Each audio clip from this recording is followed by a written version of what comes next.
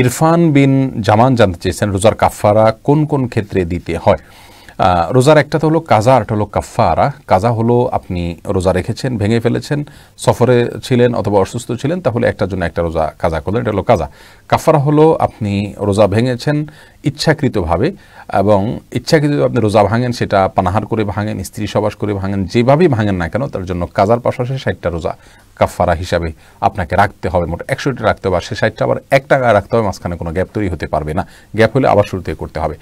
যদিও এরাবেন স্কলারদের মতে আপনার শুধুমাত্র স্ত্রী সহবাসের মাধ্যমে যদি রোজা ভঙ্গ করা হয়, সেক্ষেত্রে কাজার সাথে কাফারা লাগবে। আর অন্য কোনো উপায়ে যদি কেউ রোজা ভঙ্গ করেন, সেটা পানাহার করে ইত্যাদি, তাহলে সেক্ষেত্রে শুধু কাজা করবেন এবং তার গুণা হবে তবে না সুহা তাকে করতে হবে। কিন্তু এর জন্য কাফারা দিতে হবে না। তারা বলেন, রসুল করিম সাল্লাহ সাল্লাম কাফারার যে বিষয়টি বলেছেন, সেটি যে সাহাবির বিষয়টি বুখারির হাদিস কিতাব বর্ণিত হয়েছে, তিনি মূলত স্ত্রী সহবাস করে রোজা ভঙ্গ করেছিলেন। তার জন্য নবী সাল্লাহ আসলাম কাফার কথা বলেছেন। আমাদের সোলামাইকরাম এটাকে ব্যাপকভাবে সব জায়গার জন্যই অবদা মানে ব্যাপকভাবে সব জায়গার জন্যই তারা এই বিধানটাকে প্রযোজ্য মনে করেন।